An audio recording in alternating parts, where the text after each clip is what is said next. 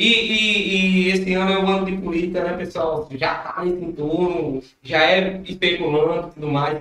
No seu grupo, tem a gente, tem, a gente, no outro grupo, a gente já tem Jair que já está assumindo disco, né? Falta só agora já esquecer para a gente que é o vice E no seu, no, no, da situação, tem dois cabeças de chave fortíssimos, né? Tem Batista e tem Rodrigo.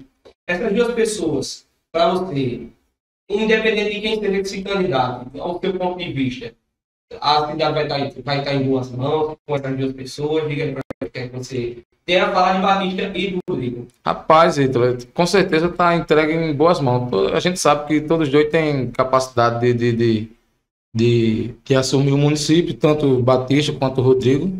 A gente sabe.